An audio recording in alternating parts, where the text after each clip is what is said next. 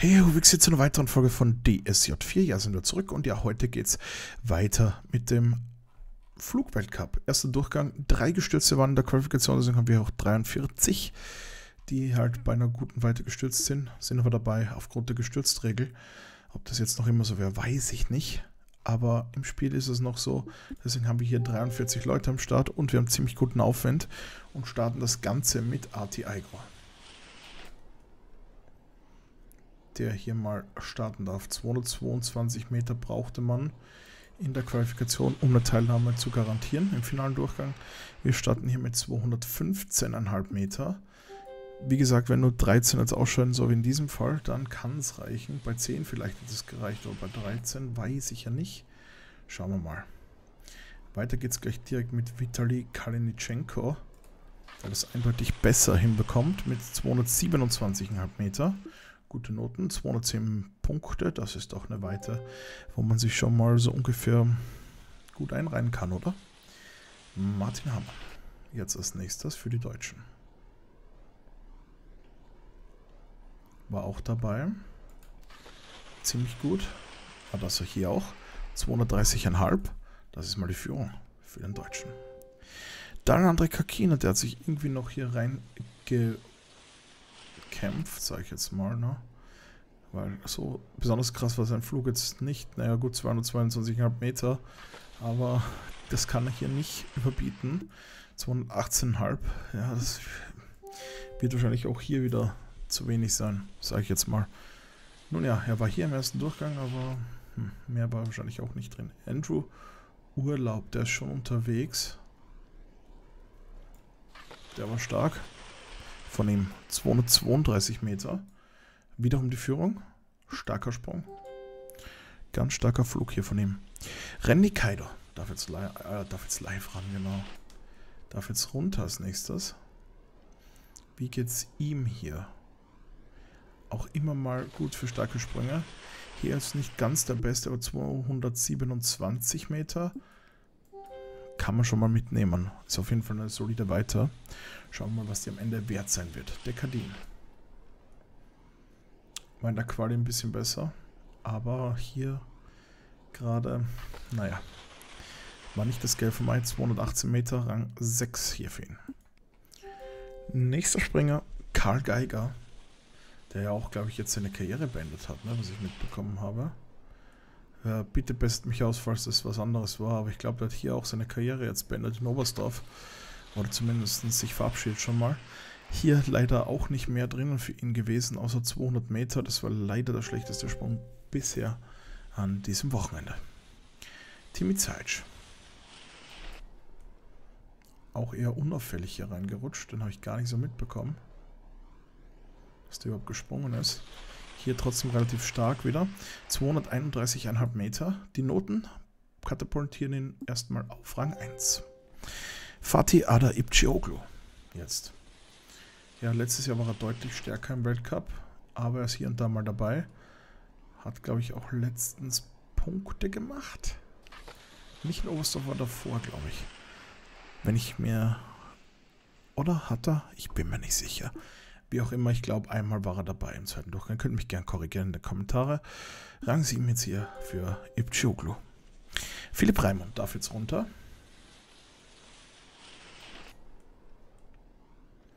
Auch bei ihm schaut das mal sehr stark aus, was er hier macht. War solide, nicht ganz top, so wie es vielleicht ausgesehen hätte. 220 Meter mit 200 Punkten. Ob das irgendwas reichen wird, wir werden sehen. Aber er ist im Moment mittendrin. Könnte reichen für den 30. eventuell. Schauen wir mal. Aber es sind ja ein paar mehr Leute dabei, als sonst gewesen wären durch nämlich Weiteflüge, aber die sind eben gestürzt. 222 Meter jetzt hier für Kill Empire und Rang 6. Für ihn geht das selber ungefähr. Stefan Leier darf jetzt ran.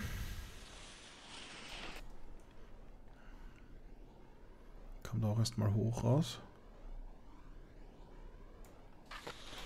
Okay. 224,5 Meter. Wiederum Rang 6. Da kommen wir auch nicht ran an die Top 5 im Moment. Die waren stark. Aber wir schauen, wie es weitergeht mit Remo Imhoff. Der hatte auch einen super Flug in der Qualifikation, wo es eigentlich keiner so wirklich mitbekommen hatte. Plötzlich war er da vorne mit dabei. 228,5 Meter ist wieder ein guter Flug, aber es reicht nicht für ganz vorne, aber trotzdem für Rang 4.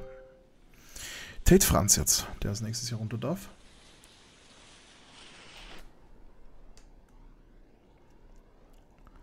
Schaut zumindest von der Höhe mal sehr stark aus. War auch sehr stark.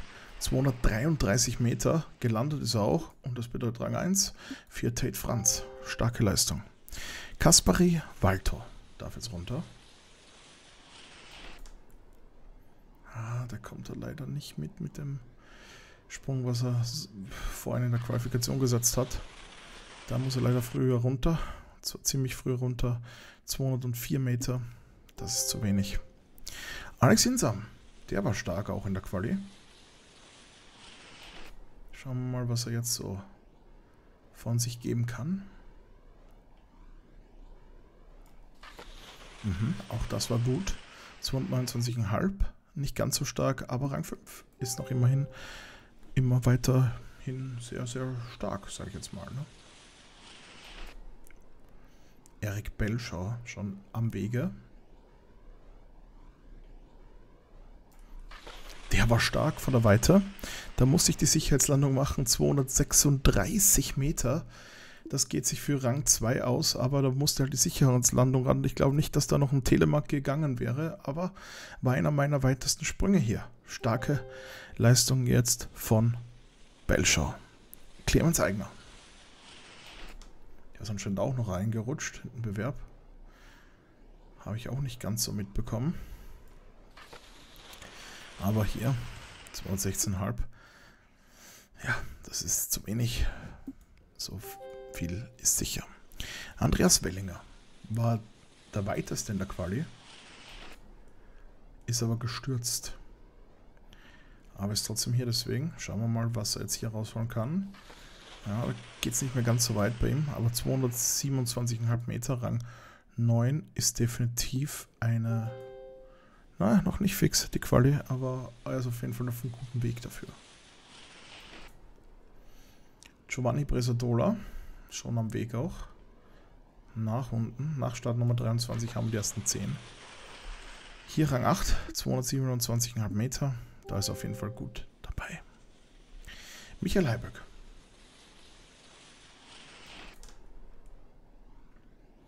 Er kommt hoch raus. Reicht auch nicht ganz für vorne. 228 Meter. Hätte super Noten hier. Deswegen Rang 6 für Heiberg. Da ist auf jeden Fall in lauer Position. So viel ist sicher. Auch Manuel Fettner, der gestürzt war und auch ziemlich gut unterwegs war mit 228 in der Qualifikation hat es geschafft. Schauen wir mal, wie es ihm hier jetzt ergeht. Kommt auf eine ähnliche Weite.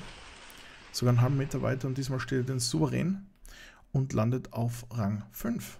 Also auch sehr, sehr stark von ihm. Nächster Springer, Nico Kytosaho für die Finnen.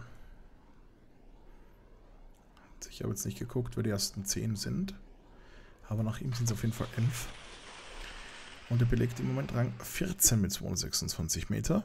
Rang 11 wäre im Moment Randy Kaido mit 227 Meter. Ja, solide. Über 210 Punkte im Moment noch.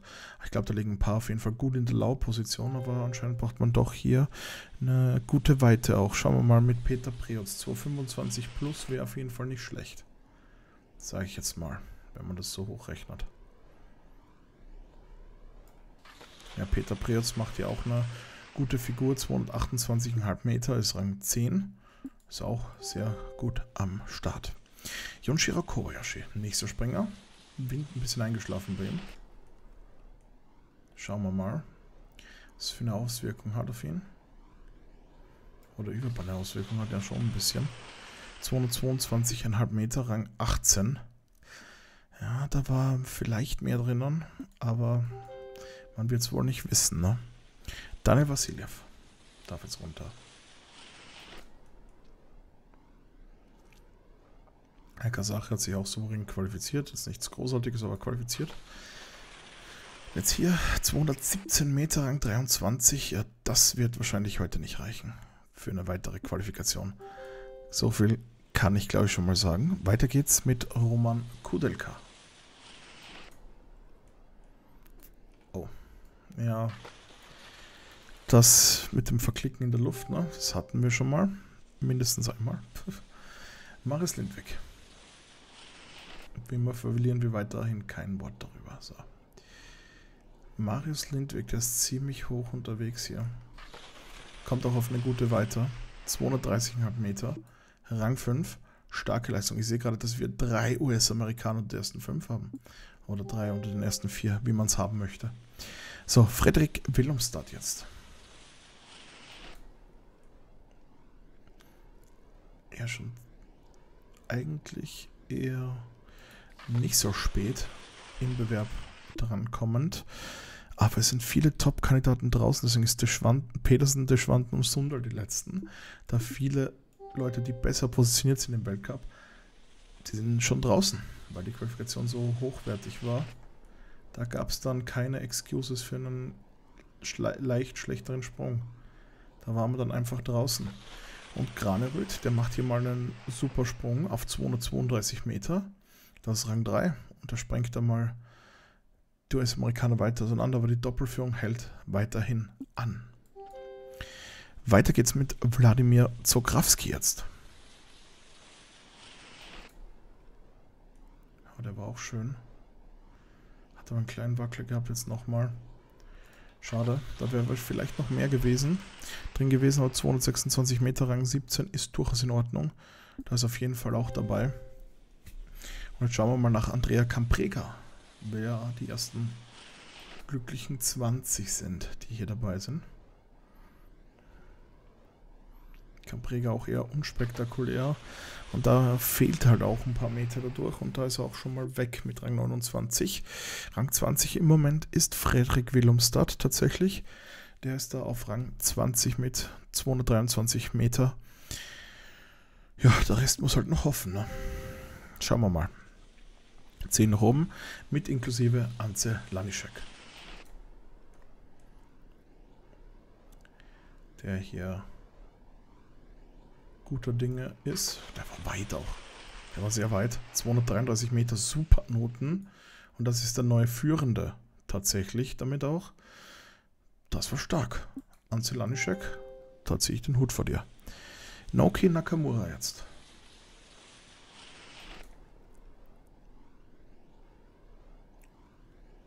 Ja. Da war sehr aggressiv. Es war sehr aggressiv.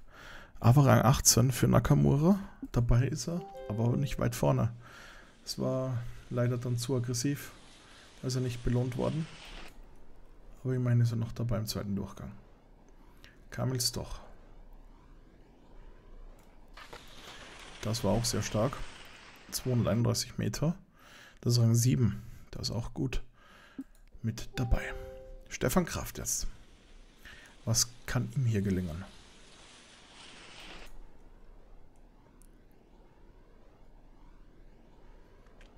Kommt auch mal hoch runter, aber gefühlt nicht aggressiv genug. Da fehlen halt ein paar Meter. Trotzdem Rang 14. Da ist er dabei, er kann angreifen. Wir werden sehen, wohin ihm die Reise dann im zweiten Durchgang bringt. Anti-Alto. Auch bei ihm. Schauen wir mal, wo es bei ihm hingeht. Auf eine tolle Weiter. 233 Meter auch. Rang 4. Auch er gut unterwegs damit. Um hier im zweiten Durchgang nochmal richtig anzugreifen. Doman Prioz jetzt.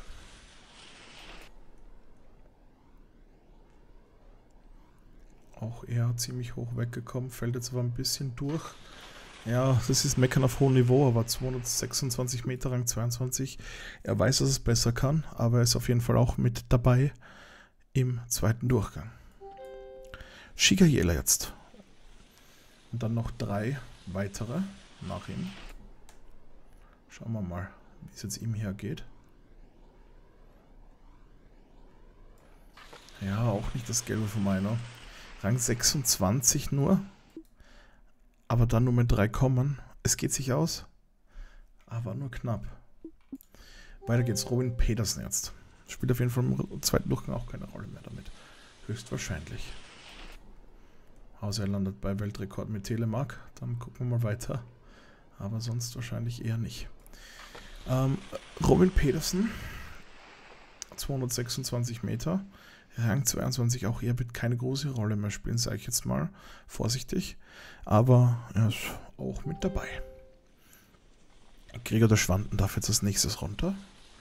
Wie ergeht's ihm hier? Uh, der war auch gefühlt zu spät. Führte Schwanden. Aber den kann er noch gut retten. 227,5 Meter, Rang 25. Die Noten waren auch nicht besonders. Aber dabei ist er. Und jetzt kommt noch einer hier im ersten Durchgang. Christopher Eriksen Sundal.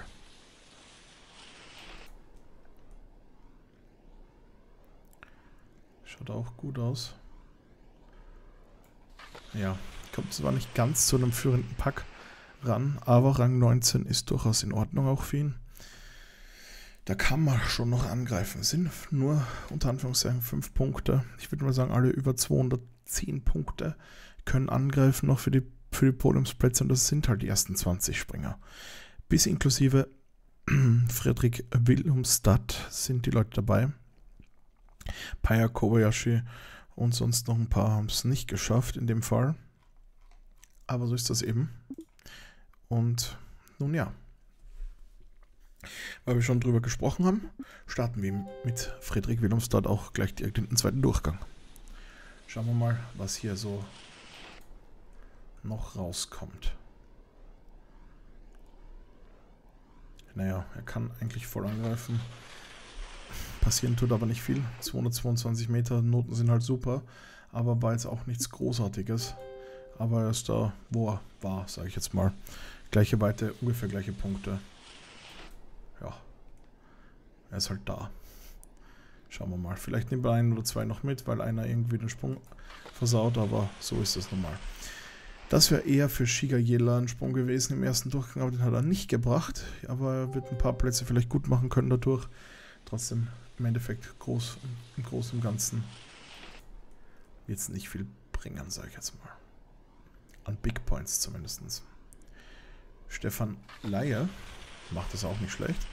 Finn geht ungefähr dasselbe, nur liegt da eben vor Shigayela.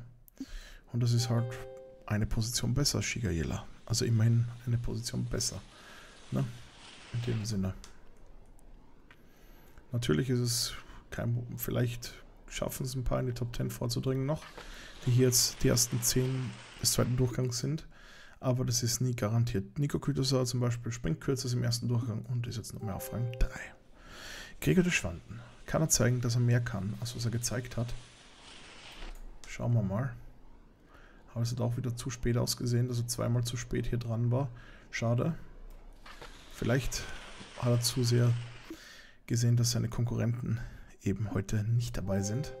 Aber immerhin, im Gegensatz zu denen, macht er wieder Punkte. Wie viele das im Endeffekt sein werden? Wahrscheinlich nicht viele.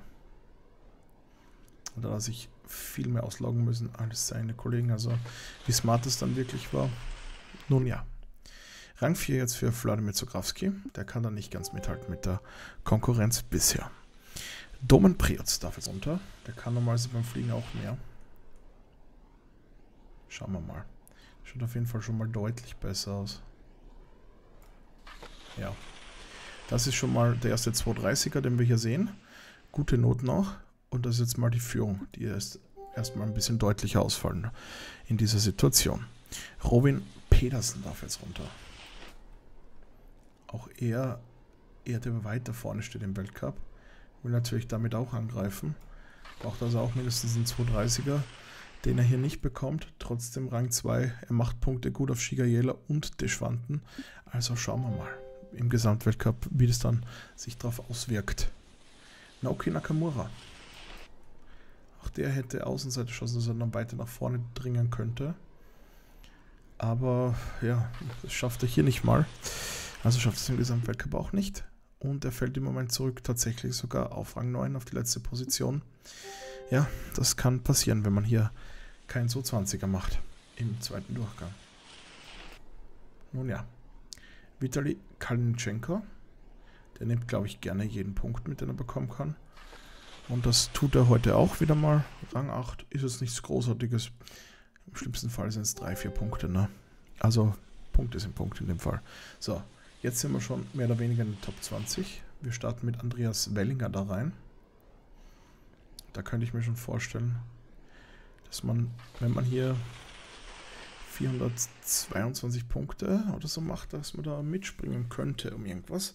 Gucken wir mal. Andreas Wellinger ist jetzt auf Rang 3 ex equo mit Stefan Leier. Domen Prietz hat ja diese 422 Punkte, so die ich jetzt angesprochen habe, die vielleicht ein bisschen ins Play kommen würden, aber ich glaube, da braucht man schon fast 430 für ein Podium.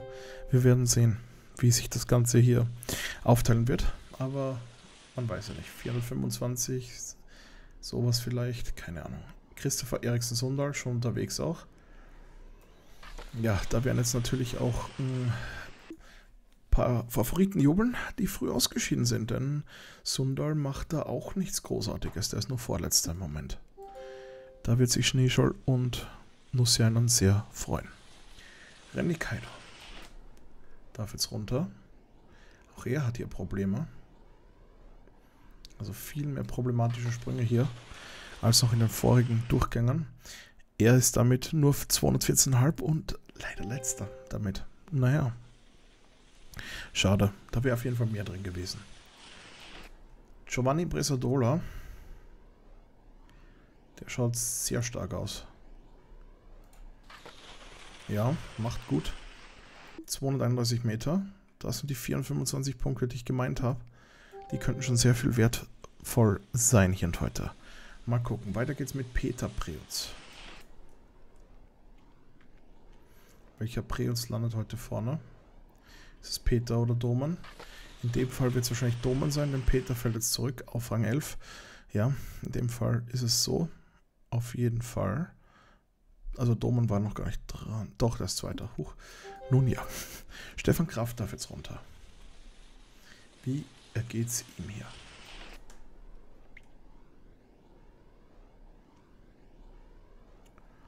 Das ist jetzt auch nicht der Megasprung, den er sich vielleicht erwünscht hat. Aber er kommt zumindest auf Rang 3. Ja, will auch wieder Punkte geben, aber auch nicht die besten eben. Ne? Das ist halt das, was bei Stefan Kraft diese Saison nicht ganz klappt. Ne? Er kommt dann nie ganz vorne, aber trotzdem ist er irgendwie so in den Top 15, Top 20 des Weltcups immer dabei. Aber naja, so ist das eben. Remo Inhoff, 207,5 Meter nur und der ist der erste tatsächlich, der hier unter 400 Punkte kommt und damit auch das Feld von hinten anführt mit diesem Sprung. Alex Insam war 13. nach Durchgang 1. Das ist jetzt wieder so eine Sache. Er drückt ja auch mit einer Seite nur drauf auf den Ski und damit fällt er auch zurück auf 215,5 Meter, auch fast ganz ans Ende des Feldes. Nun ja, oft geht blöd, ne?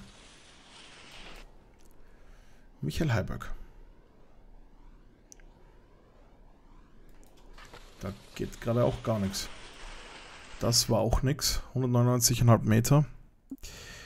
Das war auch viel, viel zu schwach, als wenn plötzlich kein Wind mehr unter seine Skiern gewesen wäre. Weiß ich auch nicht. Martin Hammann. Es hat mich gerade selber gewundert, dass der so runter ist, aber nun, so ist das eben.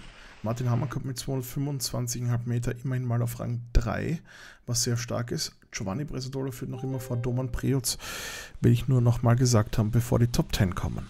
Manuel Fettner jetzt eben. So, die ersten 10 haben sich schon pre-eliminated, sage ich jetzt mal. Wo zwei vielleicht Chancen haben auf dem Podium. Oder besser gesagt, der erste noch eine Chance hat aufs Podium. Aber wir werden sehen. Fettner jetzt, starker Sprung, Rang 2. Marius Lindwig darf jetzt runter. War auf Rang 9 nach Durchgang 1. Oh, der kommt auch nicht so hundertprozentig weg. Kommen gerade alle nicht. Alle wollen gerade zu viel, glaube ich. Deswegen schaffen die den Absprung alle nicht so wirklich. Auch er fällt zurück auf Rang 17. Naja, nun, weiter geht's mit Kamil Stoch.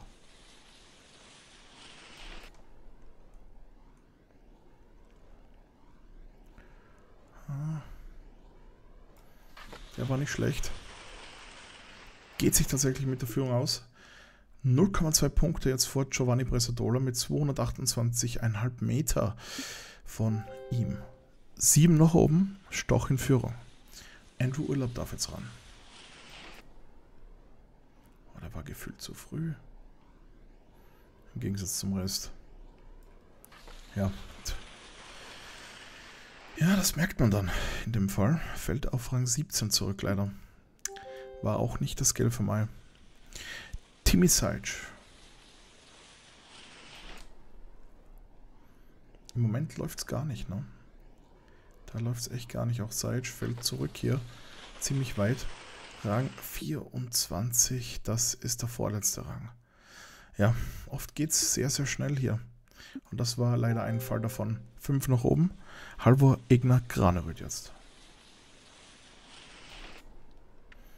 Oft ist es dann doch die Konstanz, gerade auf Flugschanzen zwischen den einzelnen Sprüngern.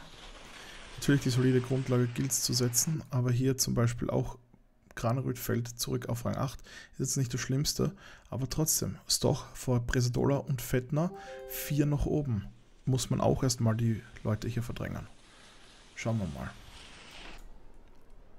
Auch das war einen kleinen Ticken zu viel riskiert für Alto. Dann ist man halt hier bei 200, 204 Meter schon unten. Und das ist nur Rang 24 für Ante-Alto. Drei noch oben. Mal schauen, mal schauen, was jetzt hier noch geht. Denn da war jetzt wenig los. Eric Belschau. Der schaut wieder verdammt gut aus. Ja, uh, der stürzt hier leider bei 230,5 Meter. Ganz, ganz schade für ihn. Das wäre nämlich ein starker Kandidat gewesen. Auf dem, Podium, auf dem Podium auf jeden Fall. Und auch zum Sieg heute. Aber Rang 19. Leider, leider stürzte hier bei 230,5 Meter. So, ist doch schon mal am Podium. Tate Franz jetzt. Der hat auch die ganz große Chance hier.